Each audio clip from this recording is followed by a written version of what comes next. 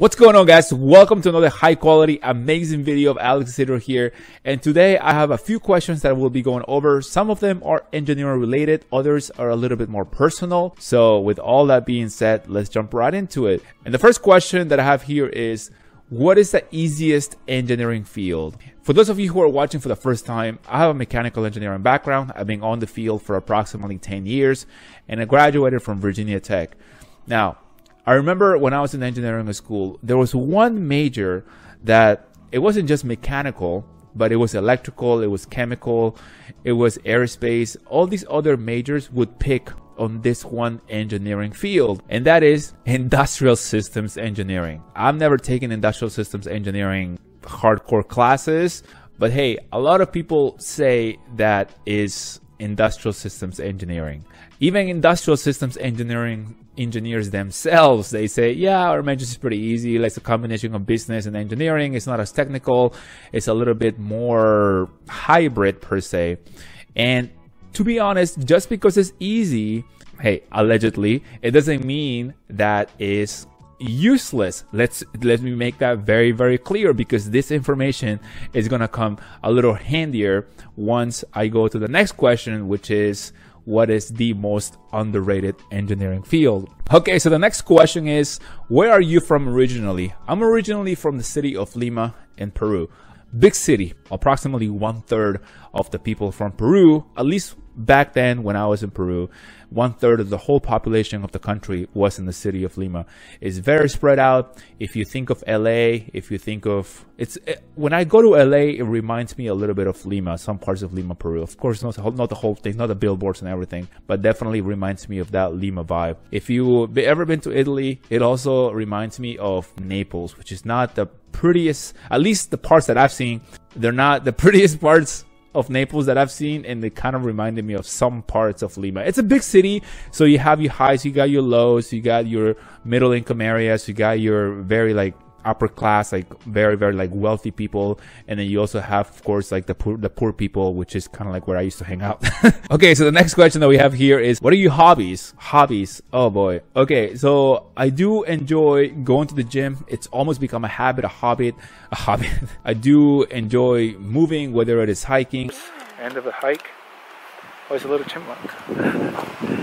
so this is the view, one of the views to our first hike. This is what is this called? Afghan Afghan Fire Trail? Afghan Lookout. Oh, Afghan Lookout. I just enjoy being active. So whatever it is that is going to get me sweating, it's going to get me moving, it's going to increase my mental clarity, then I'm all down for it. That's my hobby. Also, I read books. I read self-development, personal development, philosophy, uh, psychology, from which I learn very little every time I read a book. When we read a book, a lot of the times, one thing that I want to point out is like, we think that we have to learn every single thing that, that is on the book. But if you can pick up one idea or two ideas that you didn't know before, I think the time is going to be well worth it. The next question that we have here, celebrity crush. Oh, celebrity crush. Oh boy. Uh, Honestly, I don't really have celebrity crushes. It's not, I'm not really too into celebrities overall. However, if you talk about social media personalities, and by social media personalities, I mean uh, people that are in the self development world, people from whom I've learned a great deal. I have an enormous amount of gratitude for for those people. Such is the case. You guys have heard me talk about this man many times. Dr. Jordan Peterson, he's influenced my life very heavily. So if I had it in front of me, and actually, let me tell you a quick story because I did have him in front of me back in when I, a couple of years ago. My wife, it was for my birthday. My wife got me a couple of tickets to go see Dr. Jordan Peterson here in Baltimore, Maryland.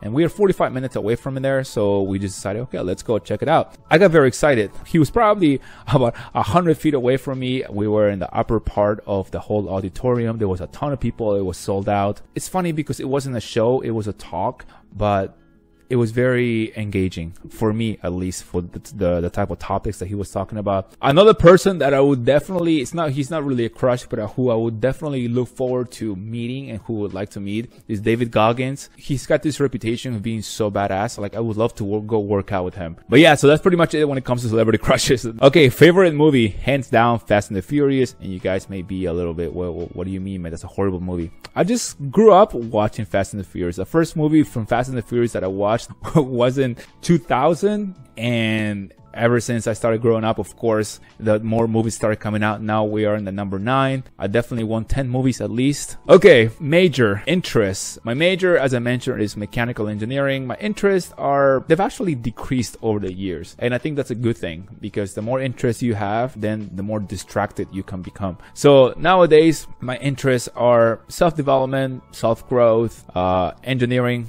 learning, helping young people overcome their obstacles. Uh, it's kind of weird for an engineer engineer, right? Like I always thought when I was much younger in engineering, like, oh my God, like philosophy is so useless, psychology is so useless. But over the years, I've come to realize that actually those subjects help you develop as a human being, not just mentally, but also they help you guide you through the path of life per se. Which do you think is the easiest engineering field? I already answered that one. Which do you think it's the most underrated engineering field? Okay, this is a good question. And you guys remember in the beginning of the video today, I talked about the easiest engineering field. Now, there's two underrated fields that I want to mention here. And that one of the things that happens when we go to engineering school, we take pride in things being very difficult, right? Like the the harder your engineering field it is, sometimes like the more pride you have in the major. And hey, I trust me, I've been there.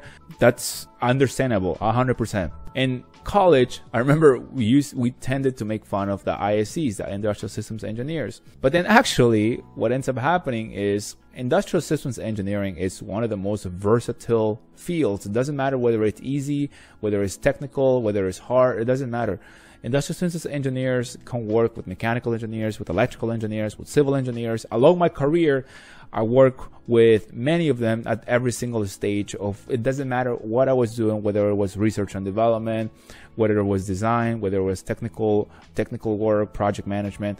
A systems engineer was involved in the process in one way or another. That's perhaps one of the reasons why the United States Bureau of Labor Statistics projects systems engineering to be growing almost twice as fast as the average rate, about at approximately 10% growth in the next 10 years. This stat may be a little unexpected to some of you guys, but yeah, industrial systems engineers are very versatile. They can get into almost into any industry. And the other one that recently uh, started picking up more, although you technically don't need an engineering degree to become one of these engineers, it's sales engineering. I made a couple of sales engineering videos in the past, and actually, they're one of the most viewed videos that I've made.